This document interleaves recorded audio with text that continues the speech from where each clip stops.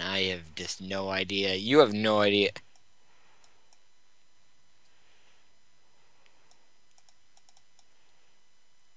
There. Oh, it looks familiar. Oh, oh, oh. The name of the author's. The way. Whoa! The picture of the author's thingamabob looked familiar for a second there, but then I realized that was not what I was looking for. It wasn't red. What? Can I read it yet? Read it now, God. Drip, honk, drip, honk, drip, honk, drip. Footsteps echo further and further off into the distance as he walks towards the fleeing motherfucker. Green and blue on his hands, purple on his face, and three jagged lines. The no longer stoned clown wore a blue cat hat and cracked shades, both of which had once belonged to those green and blue, but they were motherfucking dead now. Motherfucking yes, he was going to kill all those motherfuckers. All of them. He didn't feel the slightest bit guilty either, because it's just like it was what he was motherfucking hatched for. The footsteps finally disappeared, and the halls were silent aside from drip, honk, drip, honk.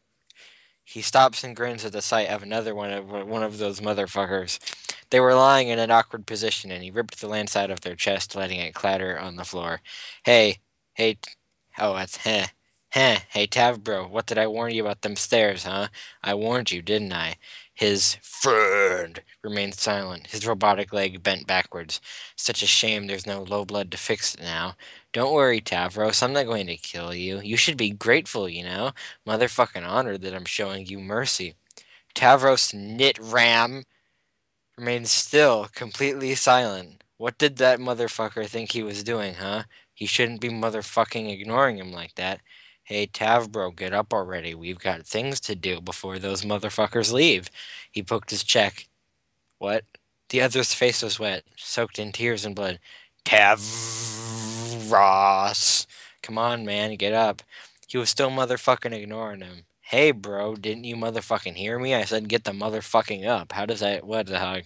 That motherfucker was still motherfucking ignoring him. Didn't you hear me, motherfucker? I told you to stand up. So motherfucking stand. In the He place grabs- where you live. He grabs the other's horns and forces him to sit up. So the two are at eye con at eye contact. The color brown on his hands mixing with the green and the blue, and the two stay like that for a few moments in silence, and then they kissed.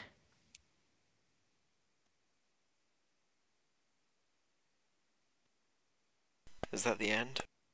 Yeah. Hmm. That was very nice.